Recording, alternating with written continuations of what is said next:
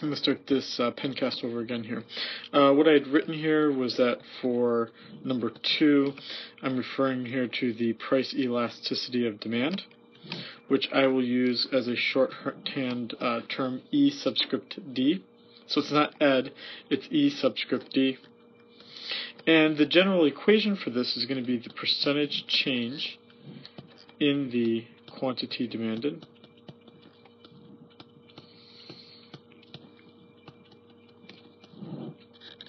over the percentage change in the price of the product.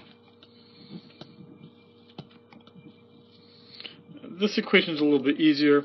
Uh, if you can read through the writing here at the top that I crossed out and started the pen cast over again, sometimes you'll see it where this is reversed and then multiplied. Um, it's multiplied so that you get the inverse.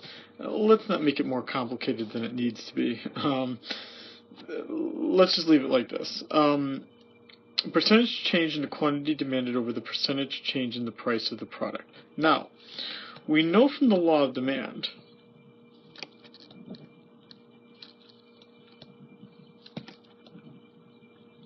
we know from the law of demand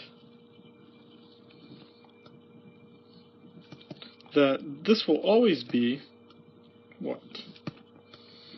This will always be negative.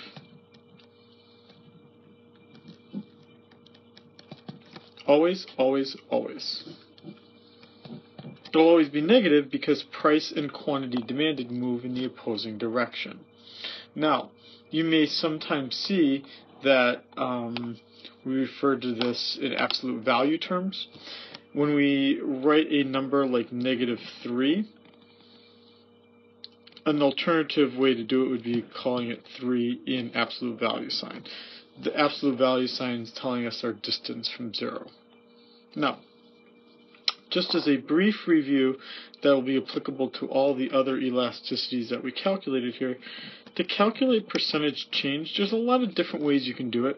Uh, there are apps for your phone that you can download to calculate percentage changes. There are functions in your um, calculators that can solve this kind of thing. Um, you can use the midpoint method, um, which you might find on the web or in certain books. Um, a slightly easier one here would be, um, and the one that I tend to use, um, would be taking the newest number, subtracting the older number, dividing it by the older number, and multiplying it by 100. So for instance, if I had a set of numbers that went to 100 to 110, it should be pretty obvious that that's a 10% increase. But to prove to you that, that that's actually the case, I could have 110 minus 100 over 100 times 100. And that would equal 10%. I like this method. It works pretty well. Um, you may find it useful. So, um, what makes something um, elastic versus inelastic? Um, what we see here is that um, when we call something elastic, what we're seeing is that it is very sensitive. Meaning that the percentage change in the quantity demanded is greater than the percentage change in price. So basically, kind of read it this way. If I change the price by 1%, the quantity demanded is going to change by greater than 1%. That would mean that, right, I get a pretty big decrease in the quantity demanded uh, because the consumer is so sensitive to the price being charged. When we call something inelastic, it's not as sensitive. Here we're saying that the percentage change in the quantity demanded is something less than the percentage change in the price of the product. Now, one of the questions that you might obviously have is, what is it that makes something um, elastic versus not elastic.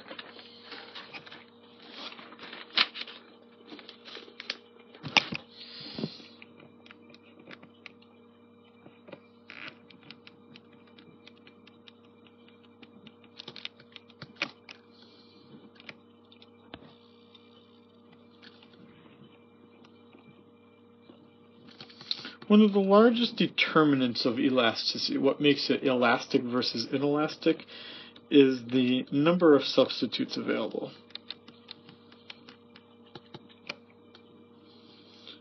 Um, you know, for me, um, for my cell phone, because I like to use my Apple, uh, you know, my iPhone, I'm pretty insensitive to the price. I'm pretty inelastic. I don't know, just because I've always used it and I'm pretty used to it and I would be unlikely to change, just as some of you might be like that with your Samsung or your Android phone. Um, the companies know this, so they're able to charge prices in relation to that. Yeah, there's people that switch every year between two, um, you know, uh, operating systems, but most people just stick with one and they don't tend to switch very often. Same with like those who use a PC versus those who use a Mac. Um, basically, what we see is that the fewer the substitutes, fewer the number of substitutes,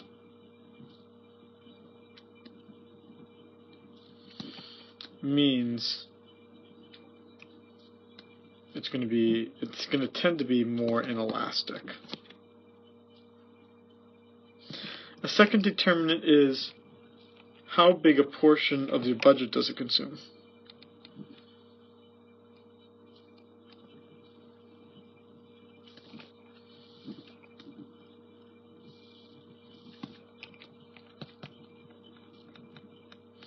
The larger the portion of the budget,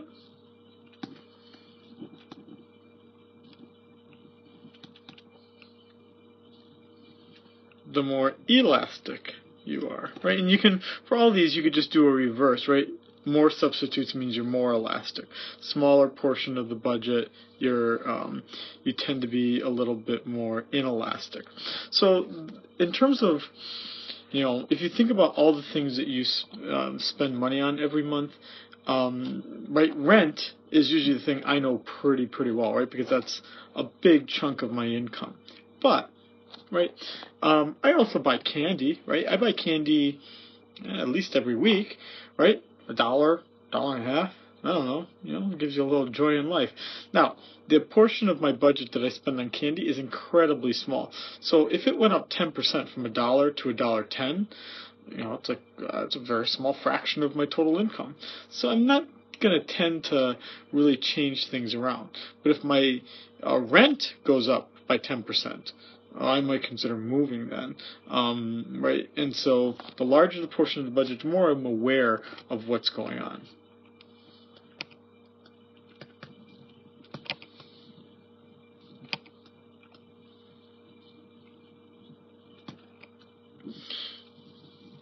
And then what we're looking at here is, is the good a necessity or is it a luxury? If it's a luxury, you'll tend to be elastic. Um, I have to buy water, right? I can switch brands, or I could even use what's out of the faucet, but pretty much have to buy water. I have to buy rice, right? I have to buy certain things, and I can't really get around it. Um, but I can adjust some of the things that are within my um, um, I can adjust what kind of car I drive, right? I need a car, but you know, even if it's a necessity, it doesn't mean that I'm never going to change uh, how much I buy or uh, what I tend to do. And then another reason would be how long is the time period? You tend to be more elastic the longer the time period. Essentially because you have more time to adjust. Um, whereas you're inelastic in a very short uh, time period because you might not feel you are able to uh, change how you're doing things. So now we need to look at how does the elasticity look along the demand curve.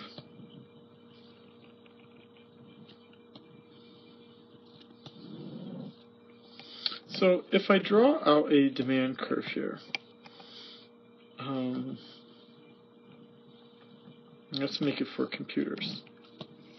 Then, in my demand curve here, um, what we what we want to do here is we want to have um, right. We want to have something that is going to show us what's going on in the middle point, on the upper portion, and on the lower portion.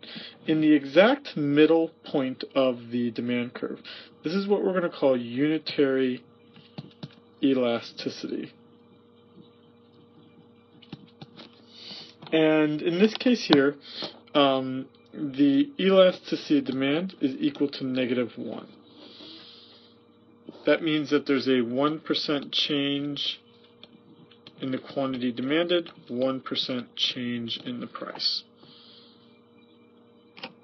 On the upper portion of the graph, here we're going to see elastic um, elastic demand.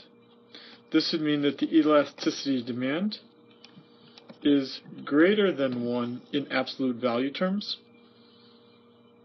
Alternatively, you could say that the elasticity demand is less than negative 1. These two are interchangeable. And then over here, it would be inelastic. And for this kind of thing here, um, my inel, uh, elasticity of demand is less than 1, but greater than 0. Or alternatively, my elasticity of demand um, here is greater than negative 1, but less than 0. Again, these would both be interchangeable. The y-intercept would be negative infinity. The x-intercept would be 0. So along the demand curve, the elasticity changes, and it changes from negative infinity, or infinity in absolute value terms, to 0 um, uh, it changes to zero um, on the inelastic uh, side, where um, you would see no change in the quantity demanded for um, changes in the price. Now, um, if these are our cases for um, the demand along the demand curve, we also need to look at the more polar cases of elasticity. Basically, what if I draw a demand curve that looks like this? This is what we're going to call perfect elasticity. This is called perfect elasticity because even just a small change in the price causes an infinite change um, in the quantity demanded. Alternatively, they could be perfectly inelastic. And if I was perfectly inelastic, um, it would uh, be completely vertical, where you could change the price infinitely and it would cause no change in the quantity demanded. Now, the other thing that you can um, say along these curves is that um, you know, as, as we kind of take this a little bit further here, um, that if I were to have two demand curves that intersected each other, say something like this and something like this. Now you can only do this kind of discussion if you um, have them intersecting with each other. What we can see here is that D2 is steeper than D1. D2 is more inelastic than D1. But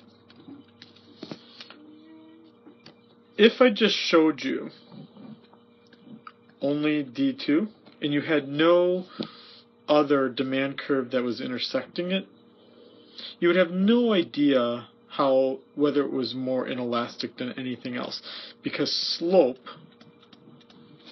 of the curve is not elasticity. Elasticity and slope are different things. How do we know that? Because this line is a straight line. That means that the slope is constant. Yet, as we just showed on the previous page, the elasticity changes along the curve. Let's look at how a kind of a sample calculation for this kind of thing would look. What if I said that the price increases from $10 to $15 and that the quantity demanded falls from $80 to $60. So with this kind of sample equation here, what we need to do is calculate uh, both of the percentage changes. So the percentage change in the quantity demanded would look like new, sorry, um, new minus old over old times 100. Right, so now I have negative 20 over 80 times 100. And so basically what we're seeing here is a fall of 25%.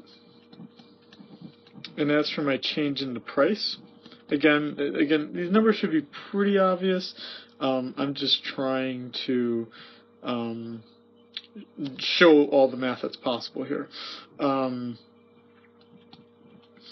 $15 new minus old over old times 100. And that would give me 5 over 10 times 100, which would be 50%. So if we apply that then to um, our uh, equation for the elasticity of demand, what we would see here is that for the quantity demanded changing of 25%, when the price changed 50%, that this would equal negative one half, and that this would be inelastic, given that number. Makes sense. I changed the price by 50% and I only lost 25% of my customers. That's a pretty inelastic story.